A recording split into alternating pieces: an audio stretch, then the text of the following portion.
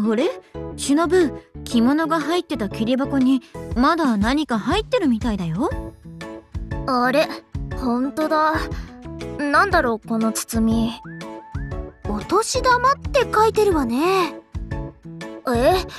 あほんとだ。なんだってまたこんなことを。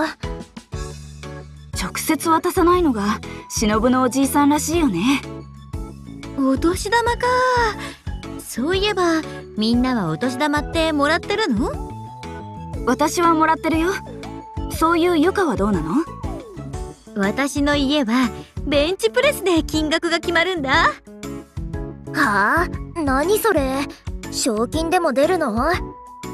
あげられた重さ1キロごとに500円っていうルールなの。何そのシステム？私じゃほとんどもらえなそうちなみにゆかはどれくらいあげられるの？ええー、そんなの恥ずかしくって言えないよ。そこ恥ずかしがるところなんだ。さすがはゆかのご両親って感じだね。えそらはどう？うん。私の場合お年玉っていう名目ではお金をもらったことはないわね。どういうこと？うちはお金が必要になった場合プレゼンで親を納得させるルールなの。それさえ通ればいつでも提示した額を出資してもらえるのよ。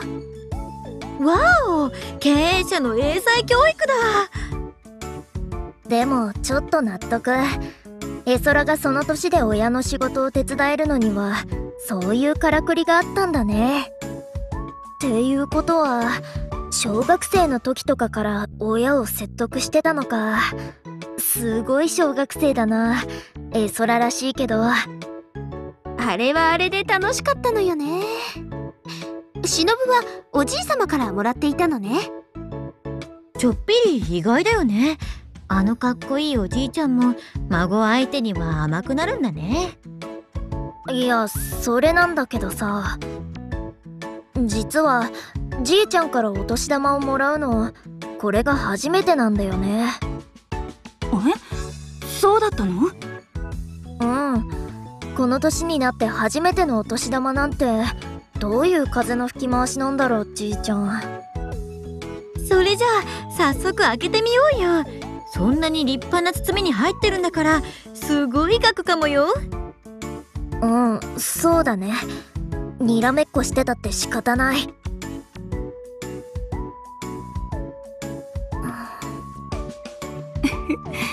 忍緊張してるみたいだね。初めてのお年玉にワクワクする忍かわいいわ。すっごい集中力ドキドキしてるのが伝わってくるね。なんか微笑ましい。よし開いた。え？これって。んどうしたの？忍これトラック製作の依頼書だ。え？お金じゃないの？自分で稼げってことかしら？孫にあげる初めてのお年玉がこれって